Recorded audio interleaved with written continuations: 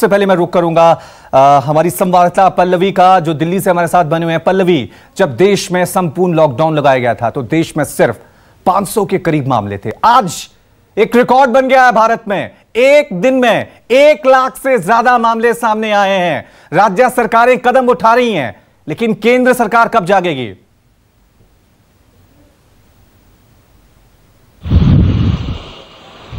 रवि देखिए, जिस तरीके से ये पैंडेमिक शुरू हुआ था और अभी तक के हालात, देखिए, उसमें ये एक तरीके से कोरोना बिल्कुल आक्रामक तरीके से है।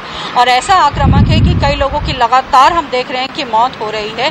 बेशक अलग अलग राज्यों में अलग अलग तरीके से इसे कंटेन करने की कंटेन करने की कोशिश की जा रही है, लेकिन लगातार आंकड़ा बढ़ रहा है। अगर दिल्ली की बात की जाए तो दिल्ली में, देखिए, चार हज़ार से भी ऊपर चला गया है आंकड़ा।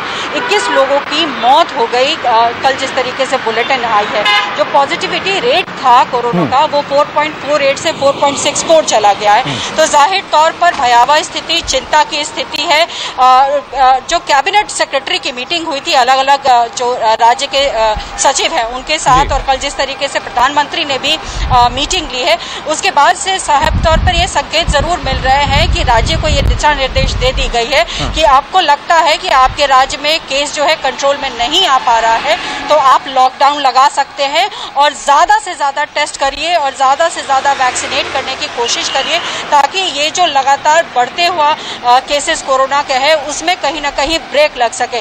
दिल्ली की बात की जाए तो दिल्ली में मुख्यमंत्री अरविंद केजरीवाल ने केंद्र सरकार से अपील की थी कि जो एक सीमा में बांधा गया है एक एज में बांधा गया है कि वैक्सीन उन्हीं को मिलेगी, उसको हटा दिया जाए और अब सभी लोगों के लिए ओपन कर दिया जाए वैक्सीन ताकि सभी लोगों को वैक्सीन जब मिलना शुरू हो जाएगा तो कहीं ना कहीं कोरोना से बचाव होगा।